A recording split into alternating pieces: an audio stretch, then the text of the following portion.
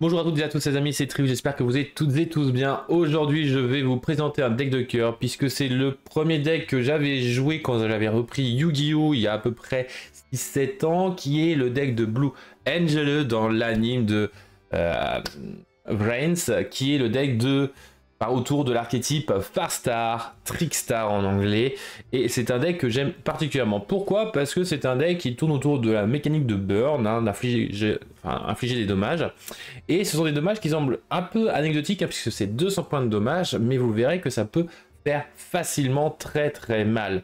Alors cette version là va pas être full burn, ça va être un peu de contrôle, un peu d'attaque et un peu de burn pour eh bien, essayer de faire un OTK potentiel comme vous pourrez le voir eh bien, dès demain dans les replays.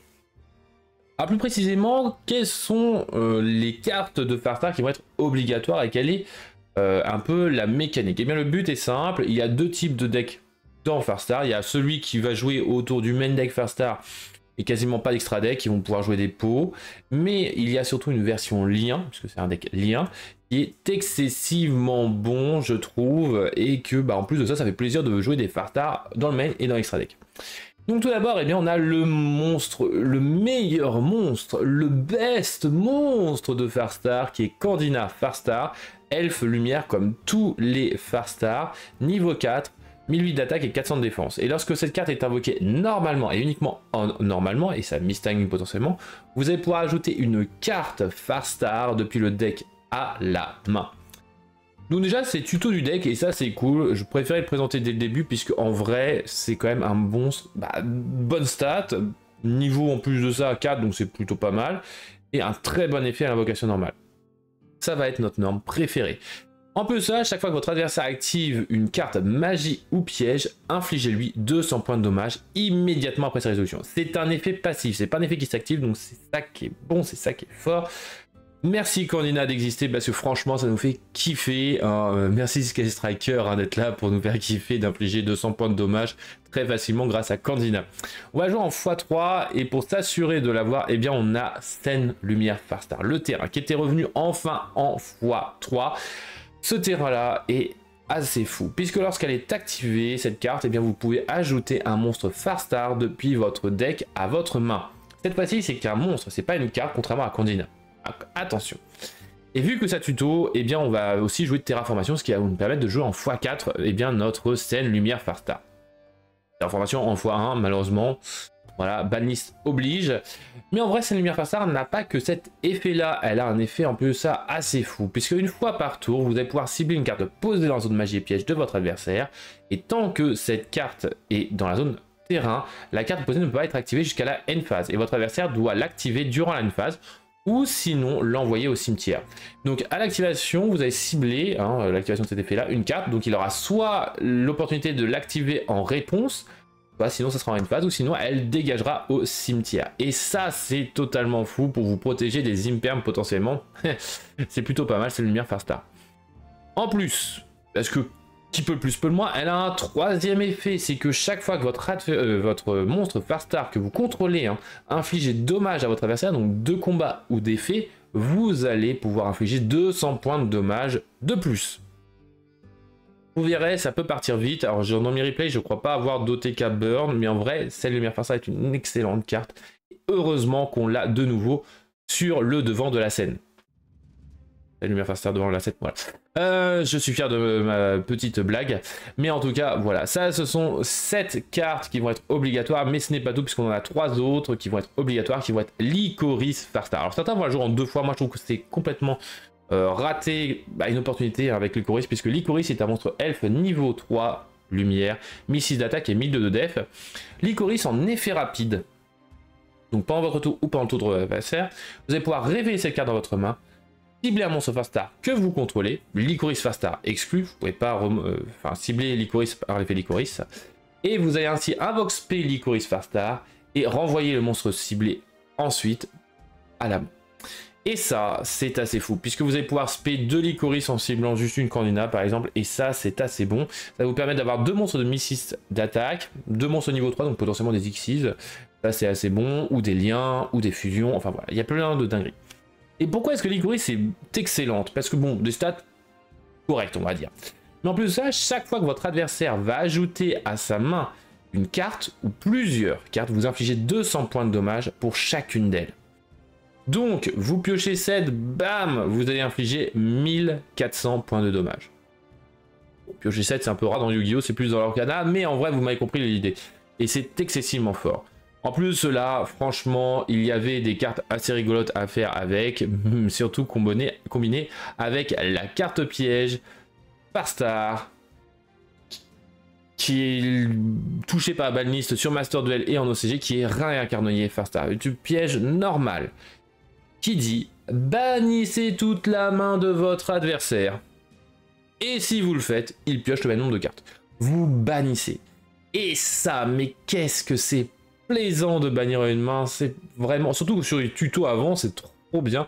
Tuto, une carte limitée, je te la banne ou une carte qui, vous savez, qui joue en x1, bam, je te la banne. Et ça, c'est bon.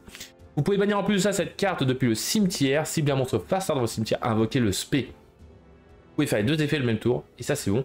Donc c'est un monstre reborn, ça gère la main de l'adversaire. Bon certes ça va piocher l'adversaire, mais ça combat très bien avec les donc on va jouer en x3. Hein. Euh, moi je trouve qu'elle est excellente cette piège, beaucoup trop forte pour ne pas la jouer du tout. Ça tutorisable puisque c'est une carte Farstar. Autre carte Farstar tutorisable qui va être la magie Festival Farstar. C'est une magie normale qui va vous permettre d'invoquer deux tokens. Deux tokens, deux jetons Farstar. Elfe lumière, niveau 1, 0 d'attaque et 0 de def. Alors, en plus ça, on a des petits tokens, voilà, un peu stylisé au niveau des Farstar qui étaient sortis en OTS, mais en vrai, Festival Farstar, je trouve déjà ce P2 tokens c'est assez fort, surtout que vous n'avez pas de restriction.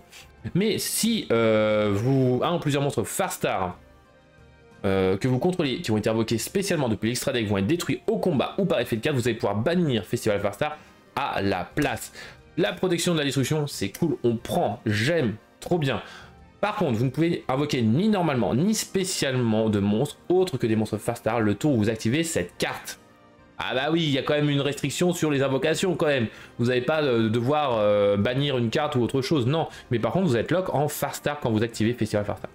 Et par contre, vous ne pouvez en activer qu'une seule de Festival Farstar, donc bon. C'est assez fort, hein. vous allez voir, surtout qu'on a des liens excessivement bonnes maintenant.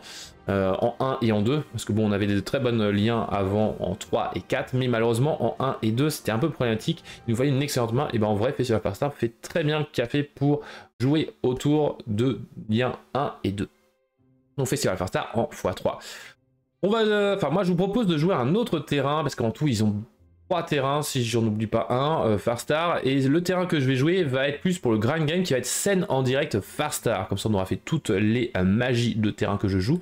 Cette carte-là, je vais la jouer en une fois. Pourquoi? Parce que cette carte-là, à l'activation, va vous permettre d'ajouter un monstre Farstar depuis votre cimetière à la main. Donc vous allez pouvoir récupérer par exemple Candina ou d'autres cartes Farstar qui peut être assez bien. Vous ne pouvez utiliser chacun des effets suivants qu'une fois par tour de en direct Farstar parce qu'elle a d'autres effets, tout comme les autres terrains ont chacun plusieurs effets. C'est Direct Farstar va vous dire si vous contrôlez un monstre lien Farstar, vous allez pouvoir invoquer un jeton Farstar. Hein, dont les stats, on les a vus tout à l'heure avec euh, notre festival Farstar. Donc ça permet de, spawn, de, faire spawn euh, quelques tokens, c'est plutôt pas mal. Et sinon, l'autre effet, c'est que si votre adversaire contrôle une carte dans sa zone magie et piège, et eh bien vous pouvez spé un token. C'est du spé de tokens et euh, récupération de monstres depuis le cimetière. Ça, moi j'aime bien la jouer. Voilà, c'est situationnel certes, a priori, mais en vrai, dès votre deuxième tour, bah, en fait, elle est excessivement bonne parce que bah, votre adversaire aura sûrement une MP dans la zone MP. Donc voilà, en plus à l'activation, vous allez pouvoir récupérer un nouveau monstre Farstar, donc c'est assez bon. Par contre, vous ne pouvez pas invoquer spécialement de monstres autres que des monstres Farstar le tour où vous activez ces effets, même si euh, c'est en direct Farstar quitte le terrain. Donc attention au, au lock qu'on peut avoir dans le Farstar. Bon, ça, c'était donc les magies et pièges qui sont pour moi quasi obligatoires. Hein. Bon, c'est en direct Farstar, Star, euh, pas obligatoire, mais je trouve que franchement, c'est se priver d'une possibilité assez monstrueuse. Et maintenant, bah, passons donc au support, parce qu'ils ont eu du support en plus ces petits coquines, euh, cette petite coquine de Farstar. Puisqu'en effet, on a eu le, enfin, la Hoodie Trickstar, niveau 2, lumière, elfe, 600 attaque et 1008 de def. Qu'est-ce qu'elle fait? Si vous contrôlez un monstre lien ou fusion Farstar, vous allez pouvoir invoquer cette carte depuis la main. Extender, gratos. On prend, on prend tous les jours. Et ça, ça va faire que cette carte-là va être va rentrer justement dans le package dont je viens de vous présenter, qui va être en x3, juste parce que c'est un extender excessivement bon, en plus de ça, niveau 2. Si cette carte est envoyée comme matériel pour une invocation lien ou... Euh, non, juste pour l'invocation lien, d'ailleurs c'est juste... Euh, pas lien en fusion, c'est juste pour une invocation lien d'un monstre Farstar, si elle est envoyée au cimetière pour une telle invocation, eh vous allez pouvoir ajouter la carte Fusion Farstar ou Diffusion Farstar depuis votre deck à votre main. Vous ne pouvez utiliser chacun des effets qu'une fois par tour de Woody. Ok, une fois par tour, zut. Mais en vrai, c'est quand même assez bon, euh, petite Woody, donc on va jouer en x3. Et après, bon, alors Cloche Muguet, l'autre monstre niveau 2 qu'on va jouer, qui était déjà joué. Euh, certains ne la jouent pas. Bon, en vrai, elle est plutôt pas mal, mais je comprends pourquoi est-ce que les gens ne le jouent pas. Puisque ce monstre niveau 2, 800 attaques et 2000 def, eh bien, va vous dire que si elle est ajoutée à votre main, sauf en la piochant, vous ne pouvez l'invoquer spécialement depuis votre main. Le problème, c'est que bah, souvent, hein, on va pas se mentir, on sait très bien, si vous avez une brique, vous l'avez en main de départ, et bah voilà, c'est votre petite cloche muguet qui va être votre brique. Mais en vrai, pas tant que ça, parce que vous ne pouvez utiliser ces effets, certes, de cloche muguet Fast Star qu'une fois par tour, donc c'est pour ça qu'on va jouer en une fois ou en zéro. Mais surtout, lorsque cette carte inflige des dommages de combat à votre adversaire, vous allez pouvoir cibler un monstre Fast dans votre cimetière et l'ajouter à votre main. C'est pour ça que, bon, ne pas la jouer, il y en a qui le font, euh, que je peux comprendre, hein, à cause du côté brique, entre guillemets, de cette carte-là. Mais en vrai, pouvoir recycler un monstre Fast Star depuis cimetière, bah, c'est plutôt bon, hein, euh, je trouve. Et bon, surtout qu'il y a des petites combos, hein. vous allez récupérer Lycoris, hop, effet Lycoris, toujours en battle phase, on remonte Cloche Muguet Farstar pour euh, spé Lycoris, et si vous n'avez pas spé Cloche Muguet par son propre effet, bah hop, vous, vous l'avez récupéré en main, vous pouvez respect Cloche Muguet Farstar et réattaquer. Elle peut attaquer directement, donc c'est plutôt pas mal. C'est du 800, c'est très bien pour le time. Potentiellement, les gens ne le jouent pas en main, plus en, side. En vrai, je trouve que Muguet est assez bonne quand même. En plus de ça, 2002, c'est pas négligeable. Et après, bon, en dehors de ça, bah, vous allez avoir une entrap de l'archétype qui peut être remplacée par Honest, qui est notre cher Sigu. Sigu, niveau 5, 2000 d'attaque et 1000 de def. Alors, elle peut être remplacée certes par Honest pour, au niveau de son effet, parce que c'est un gain d'attaque. Hein, plus précisément, euh, lorsque votre monstre First Star combat un monstre de l'adversaire durant la dommage step en effet rapide, vous allez pouvoir envoyer cette carte depuis la main. Jusqu'à la fin de ce tour, le monstre que vous contrez gagne une attaque égale à son attaque d'origine. Honest, c'est gagner l'attaque de l'adversaire. Donc c'est assez beau. Bon, hein, on va pas se mentir, mais l'avantage étant que vous pouvez aussi invoquer spécialement Stigu Farstar si vous ne contrez aucun monstre ou que vous contrez que des monstres Farstar. Et donc, matériel lien potentiel. C'est pour ça que je préfère largement Sigu après le gain d'attaque, en effet, je préfère Honest, hein, mais bon, on, doit choisir. Après, certains vont peut-être pouvoir jouer une fois Sigu et une fois Honest, etc. Ou remplacer certaines de mes cartes par Honest, mais en vrai, je trouve que Sigu est quand même un peu meilleur que Honest, même si vous ne pouvez utiliser malheureusement qu'un seul des effets de Sigu par tour et uniquement un le tour, donc c'est un peu dommage. Hein, mais bon, on sera un peu cheaté quand même. Donc on va, enfin moi je préfère la jouer en deux fois. Et euh, bah, vu qu'on va euh, donc avec Oudi avoir un peu d'opportunité de faire une fusion, et eh ben on va faire fusion Farstar dans le main deck en deux fois, puisqu'en plus de ça on a une nouvelle fusion que je vais vous présenter à la fin, qui va être excessivement bonne, contrairement à celle qu'on avait avant qui était excessivement faible. Fusion Farstar, qu'est-ce qu'elle vous dit? Bah vous invoquez par fusion un monstre fusion Farstar depuis votre extra deck en utilisant des monstres depuis votre main au terrain comme un tel fusion. Hein, voilà, classique, une petite carte fusion de l'archétype qui est pas cheaté, c'est très bien, c'est ça qu'on veut juste tutorisable et c'est ça qui est bien. Par contre, elle a un petit effet supplémentaire, c'est que vous allez pouvoir bannir cette carte comme depuis le cimetière, cibler un monstre Farstar dans votre cimetière et ajoutez-le à votre main. Donc récupération de monstres depuis le cimetière, c'est plutôt cool. Hein. Par contre, vous ne pouvez ni invoquer, ni poser normalement, ni invoquer spécial de monstre de ce nom le reste de ce tour. Donc en gros, Fusion Farstar, vous allez la faire en fin de tour pour préparer votre prochain tour si besoin est. Ou alors sinon vous allez récupérer une entrap de l'archétype, genre Lycoris ou encore Figu, mais pas plus que ça. Vous ne pouvez pas récupérer Cloche Muguet, effet de Cloche Muguet, malheureusement. Mais on va la jouer en deux fois, vous verrez, c'est assez bien. Maintenant, deux cartes qui sont de l'archétype, mais pas de l'archétype. Hein. c'est en gros, elles n'ont pas le nom Farstar, elles n'ont pas spécialement de lien avec les Farstar, mais elles marchent très bien avec les Farstar et surtout elles font référence à Blue Angel, qui sont tout d'abord eh bien anges aux larmes bleues, avec Blue Angel, hein, comme vous pouvez le voir ici, écrit en gros, qui dit que, comme magie normale, de cibler un monstre face tout sur le terrain, l'adversaire de son contrôleur reçoit des dommages égaux au nombre de cartes dans sa main x 200. Ça peut vous burn, ça peut burn l'adversaire, c'est cool, mais annulez les effets de la cible jusqu'à la fin de ce tour. Soit vous annulez vos effets et vous burnez l'adversaire, soit vous annulez l'effet de l'adversaire et vous vous burnez à voir. C'est ça qui est bien, c'est que les deux euh, effets sont assez intéressants.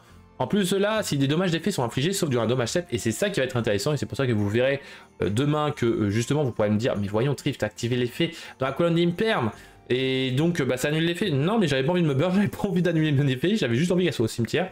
Et au cimetière, elle est excessivement bonne, puisque vous allez pouvoir bannir cette carte depuis votre cimetière, poser une piège normale directement depuis votre main ou deck. S'il est posé depuis la main, il peut être activé ce tour.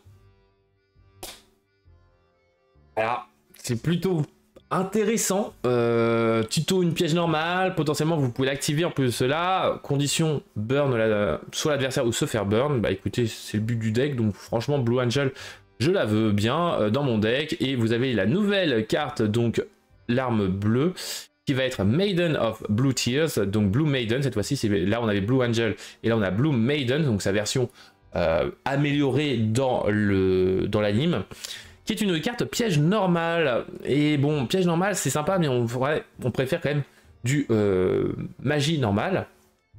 Si votre adversaire euh, invoque spécialement un monstre et que vous contrôlez un monstre lien, vous allez pouvoir cibler l'un de ces monstres invoqués et détruisez-le. Et si vous le faites, infligez des dommages à votre adversaire égaux à la moitié de son attaque d'origine. On va diviser par deux, c'est pas mal. Mais en tout cas, si des effets de dommages sont infligés tant que cette carte est dans le cimetière, vous allez pouvoir bannir cette carte, cibler une magie normale dans votre cimetière ou zone bannie, posez-la, mais elle ne pourra pas être activée ce tour. Bon, c'est sympa pour recycler vos magies normales qui vont se bannir potentiellement, mais en vrai, le problème est que vous n'allez pas pouvoir l'activer le tour où vous allez la poser. Donc, voilà, un peu dubitatif. Alors, vous ne pouvez utiliser qu'un seul Maiden Blue of Blue Tears par tour et uniquement une fois le tour. Donc, vous devez être un peu faire un peu attention à ce que vous faites. Mais en vrai, bon, moi j'aime bien, j'aime bien. Euh, en plus de ça, bah voilà, ça permet de gérer un monstre invoqué par l'adversaire, donc c'est plutôt bon. Un petit peu de burn, c'est tout aussi bon. Et vous verrez qu'elle est tutorisable, donc on va jouer elle aussi en foire. Et voilà ce qui est du package euh, Farstar, pas Licoris. Farstar. Et maintenant, bah, il nous reste 13 free spots. 13 free spots, c'est incroyable, non? Donc on va avoir double summon limit, euh, summon limit, double invocation, summon limit, on peut plus la jouer en vous deux fois. Euh, j'ai connu deux fois à cause de la. Double invocation, magie normale qui va permettre de, bah, de mener deux invocations pause normale, et pas uniquement une. Et vous verrez, c'est plutôt bien parce que vous allez pouvoir, par exemple, normal euh, Candina, effet, chercher Licoris, effet Licoris, hop, vous renvoyez Candina en main pour spell Licoris, et avec double invocation, vous pouvez réinvoquer Candina et fait tuto une autre carte Farstar, c'est plutôt intéressant. Double invocation en x2, pas x3. Pourquoi? Parce que si vous l'avez en x3, vous avez plus de chances de l'avoir en deux fois en main de départ. Et double invocation, c'est cool. Mais si vous n'avez pas de, de monstres à invoquer normalement, eh bien, c'est un peu dommage. Hein voilà, on va pas se mentir. Au niveau des traps, on a eh bien Hurluberlu en x3 parce que vous avez la possibilité de lock facilement l'adversaire et de faire un FTK entre guillemets en ayant deux réincarnoyés et un Hurluberlu. Comment est-ce qu'on fait? Vous activez un carnoyer, puis en résolution, vous activez une en chaîne 1, réincarnoyer le deuxième, et en chaîne 2, Hurluberlu. Hurluberlu est fait, plus personne n'ajoute de carte en main. Puis après, réincarnoyer, votre adversaire ban, et tente de récupérer des cartes en main, sauf qu'il ne peut pas. Attention, c'est dans cet ordre-là, parce que sinon, eh bien, ça ne marchera pas. Hein, vous y va piocher et tout ça, enfin voilà, vous avez compris, ça, ça va pas dans mon sens. Vous allez avoir aussi la possibilité de jouer des haches, hein, très bonne entrap en x3, triple imperm, piège normal excellente, et écoutez, comme on a moyen de tuto des pièges normales, eh bien, Evenly Matched est notre ami. Franchement, ça nous permet de gérer, justement, si on est un peu dans la panade, eh bien, on peut aller chercher à force égale Evenly Matched. C'est une carte piège qui permet de justement changer la donne. Si on peut tuto une piège normale, eh autant en profiter, de pouvoir, eh bien, hop, changer la vapeur. Au niveau de l'extra deck, on va commencer directement par le vif du sujet, la lien 1 de l'archétype, Colchic Farstar. Lien 1 qui pointe en bas, 200 attaque, lumière, elfe. Nécessitant juste un monstre Farstar non lien. Point Déjà, une ça, on l'aime, cette, cette petite Colchic. Alors, cette Colchic dans les prêts, vous ne pouvez invoquer spécialement qu'une fois par tour. C'est un peu dommage, mais bon, voilà, c'est comme ça. Lorsqu'un monstre est détruit au combat impliquant un de vos monstres Farstar, Tant que cette carte est dans votre cimetière, vous pouvez bannir cette carte, cibler un de ces monstres détruits, infliger des dommages à votre adversaire égaux à son attaque. Vous ne pouvez utiliser cet effet qu'une fois par tour. Donc Colchic, on va jouer en x2, parce que lien 1, vous verrez que c'est très bien. Et en plus de ça, bah, ça burn facilement. Alors malheureusement c'est lors d'un combat, c'est un peu dommage, mais en vrai ça burn assez bien. Et en plus de ça, c'est une lien 1 bah, générique de l'archétype. C'est-à-dire que vous pouvez utiliser n'importe quel Farstar, et ça c'est plutôt bon. Donc vous pouvez même utiliser Sigu pour faire Goldchick. Et ça c'est plutôt pas mal. Contrairement à sa petite sœur qui est Floraison Farstar, qui existait depuis fort fort longtemps, qui a 100 attaques, lumière, pointe pareil en bas. Et si tu as un monstre Farstar de max niveau 2. Niveau 2 Floraison Pourquoi? Les meilleurs sont 3 et 4, voire 5, pas 2. On en a V1, maintenant on a deux monstres niveau 2 qui sont plutôt bons dans l'archétype. Donc en vrai, euh, Floraison Farstar, merci, mais non merci quoi. Bon après on a les tokens qui... Euh, voilà. Mais en vrai, bon, Floraison Farstar, on va quand même la jouer en deux fois. Pourquoi? Parce que si elle est invoquée par lien, vous allez pouvoir faire piocher une carte à votre adversaire. Pif, pourquoi faire ça? Eh bien, parce que si on a Licorice, voilà, euh, au time, tout ça, ça peut être pas mal. en plus de ça, vous verrez, il y a un lien qui nécessite bah, le maximum de monstres Farstar différents, et donc autant maximiser le nombre de Farstar différents. Si un monstre Farstar passe recto pointé par cette carte et détruit au combat ou par un effet 4, vous allez pouvoir infliger 200 points de dommage à votre adversaire pour chaque carte dans sa main. En vrai, bon c'est situationnel, c'est compliqué à faire comme effet. En vrai c'est plutôt intéressant comme effet euh, à noter, mais bon, voilà. En lien 2, on en a pas mal. On va d'abord commencer par une lien. Voilà, petite lien 1, enfin lien 2 qu'on va jouer en une fois, je vais arriver. Qui pointe en bas et en bas à gauche, qui est Diverdis Farstar. 1800 d'attaque. Elfe Lumière demandant cette fois-ci deux monstres Farstar de max niveau 3. Pourquoi avec un niveau 1, 2 ou 3 quoi? Non, arrêtez C'est pour ça qu'on d'ailleurs on va jouer en une fois. Vous ne pouvez contrôler qu'une seule Divaridis Farstar. C'est pour ça qu'on va aussi la jouer en une fois. Et si cette carte est invoquée spécialement, et spécialement, attention, vous pouvez infliger 200 points de dommage à votre adversaire. Si votre adversaire invoque normalement ou spécialement un ou plusieurs monstres, infligez 200 points de dommage à votre adversaire. Donc elle, elle va burn à chaque invocation normale ou spéciale de l'adversaire. Donc c'est plutôt intéressant si votre adversaire va justement spam le board. Bon, dans les replays, pas tant que ça de deck hein, qui spam le board. Bon, Sword Soul, en vrai, ça pourrait être pas mal. Mais bon, euh, écoutez, le problème étant que bon, elle a que 1008 d'attaque, donc euh, bon, elle est sympa. Situationnelle, plus pour les decks rogue, et puis bon, elle a intérêt d'être euh, là, dans le deck, en une fois, et vous verrez, c'est important. Par contre, on a Noble Ange, enfin Ange Noble Farstar plutôt, dans ce sens-là, pointe en bas à gauche et en bas à droite, qui elle va être intéressante. Pourquoi? 2000 d'attaque et nécessitant deux monstres Farstar. Déjà, c'est bien, il n'y a pas de condition mis à part des Farstar. Ça, oui. Si cette carte est invoquée par lien, que ce soit invoqué par lien, pas spécialement, mais c'est une invocation lien, ça va, ça va. Vous allez pouvoir ajouter une carte, l'arme bleue, depuis votre deck à votre main. Et donc, vous allez pouvoir tuto, donc soit la magie que je joue en une fois, ange aux larmes bleues, ou alors maiden aux larmes bleues. Et ça, c'est plutôt bien, c'est pour ça qu'on va la jouer en une fois chacune. En plus de cela, si vous avez un monstre fusion sur votre terrain ou dans le cimetière, ou dans le cimetière, et ça c'est incroyable, que ce soit un monstre fusion dans le cimetière ou sur le terrain, cette condition-là est assez rare, mais en vrai c'est cool. Vous pouvez cibler un monstre Farstar dans votre cimetière, invoquez-le spécialement. Fou, fou, fou, fou, Reborn facile. Si des effets de dommages sont infligés à votre adversaire ou à vous, vous allez pouvoir cibler une carte face recto sur le terrain, détruisez-la. Bon, défaut, ça cible, mais c'est des dommages d'effet, mais ça peut être aussi sur vous. Vous, votre but c'est de burn un petit peu pour prendre des effets, c'est cool. Et vous détruisez une carte face recto. C'est même pas un monstre ou une MP, c'est une carte. face recto, ça cible, ok, il y a des défauts, mais bon, euh, on peut pas tout avoir hein, non plus. Chaque effet qu'une fois par tour de Noble Angel, mais en vrai c'est plutôt bon. En deux fois celle-là. Tandis que sa version si on peut appeler ça vraiment version primaire, Ange ou Farstar, bah c'est pareil, même condition, même pointage, même attaque. Mais en vrai, elle est moins bonne. Pourquoi? Parce que chaque fois qu'un ou plusieurs monstres Farstar sont invoqués normalement ou spécialement dans des zones pointées par cette carte, elle pointe que 2, infliger 200 points de dommage à votre adversaire. C'est cool, ça peut permettre de, de, gérer un peu le time, mais en vrai, ouais, un peu situationnel quand même. Les monstres Farstar pointés par cette carte ne peuvent pas être détruits ni au combat ni par des effets de carte protection de destruction, c'est cool. Si votre adversaire reçoit des dommages par un effet de monstre Farstar, jusqu'à la fin de ce tour, cette carte gagne une attaque égale au dommage qu'il a reçu. Donc elle, permet de gérer justement les gros tons, hein. euh, on va pas se mentir, parce qu'elle peut gagner facilement de l'attaque. En une fois, parce qu'elle a le bon goût d'exister, en vrai, elle a le bon goût d'exister. Et maintenant, dernier lien 2, Cœur Farstar. Alors celle-là, soit on l'aime, soit on l'aime pas. Moi je l'adore, je la joue en deux fois, parce que je l'adore. Deux monstres Farstar, elle aussi 2000 d'attaque. Pointe en bas à gauche et à droite. J'avoue qu'elle pourrait pointer un peu mieux, ce serait hein, pas mal. Chaque fois qu'un ou plusieurs monstres Farstar sont invoqués normalement ou spécialement dans des zones pointées par cette carte, vous allez gagner 200 LP. Ah, on gagne des LP cette fois-ci. Oui. Et ça, ça va être potentiellement intéressant justement bah, pour le time. Donc ça, en vrai, Curry c'est pour cela que j'ajoute en une fois, mais en deux fois. Pourquoi? Parce qu'il y a un autre effet.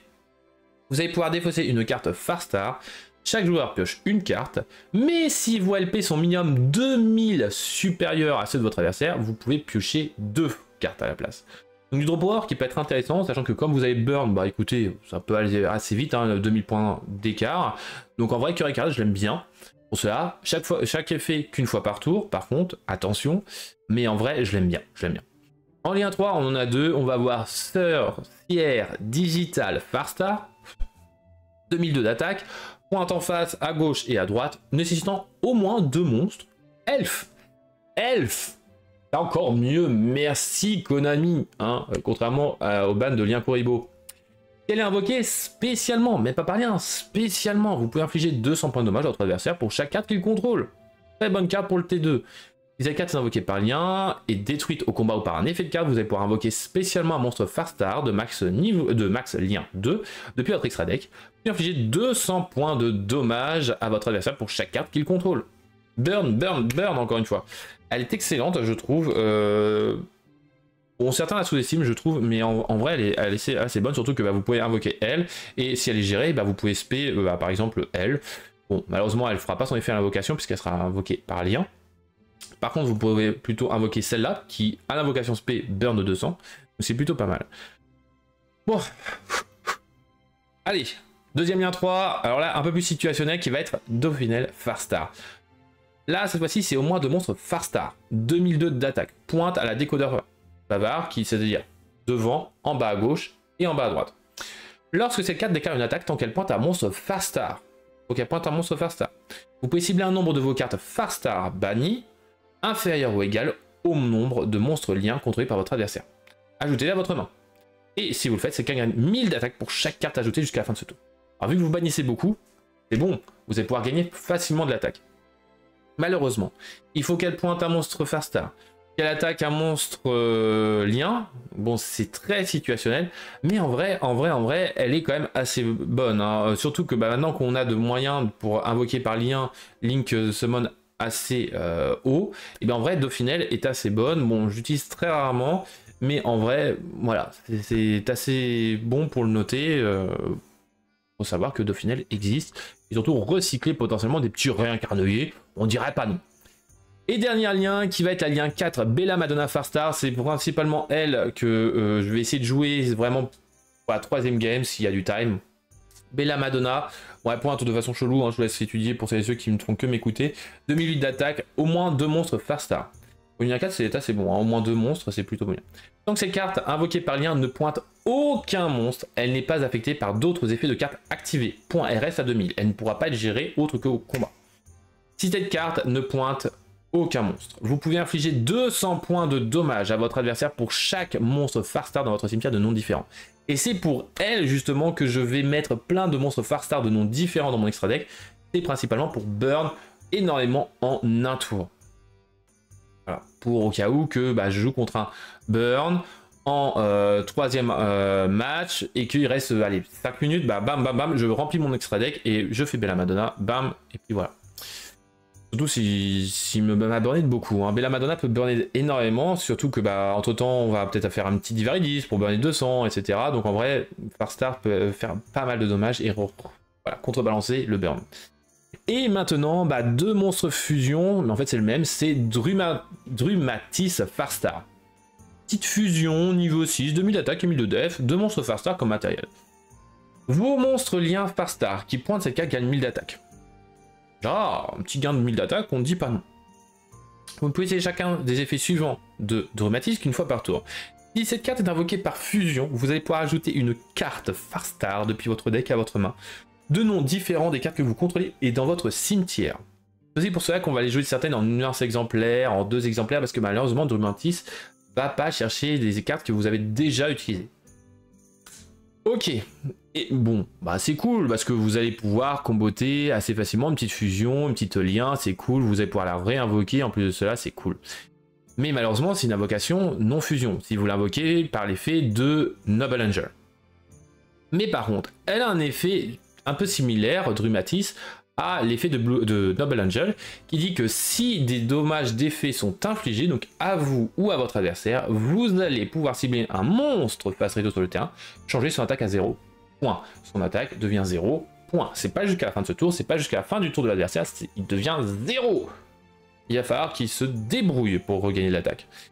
Et en vrai, bah, ça semble assez, ouais, aux F, tout ça, mais en vrai, ça permet de justement avoir un peu plus de gestion et surtout de Chainlink 2 et ainsi de protéger bah, vos autres effets, tout ça, donc c'est plutôt bon. Brumatis, rien que pour ça, en plus de ça, on va pas se mentir, l'artwork est assez beau, hein, il est assez beau. Et en vrai, bah voilà les amis, c'est tout pour cette version nouvelle de euh, Farstar, après justement les leaks du bah, OCG du deck Farstar, qui ont eu lieu genre le lendemain où j'ai tourné bah, le fameux deck Farstar avec la partie Albaz d'Espia. Ça m'a énervé, j'avoue, euh, c'est tout le temps comme ça. Mais en vrai, euh, c'est cool, franchement, ça me fait plaisir de revoir un peu de burn et surtout de pouvoir rejouer cette petite licorice que j'ai en rareté euh, Starfoil. Et ça, ça fait plaisir. Et bon, écoutez, j'espère que ça vous fera kiffer de voir du burn, du burn, du contrôle, tout ça. C'est vachement intéressant. Et euh, bah écoutez, c'était Trif. On se dit à la prochaine. C'était Trif et les Kuribo. Et pas de lien Kuribo, parce que les Kuribo sont interdits maintenant. On se dit à la prochaine. Prenez soin de vous et de vos proches. Bye bye.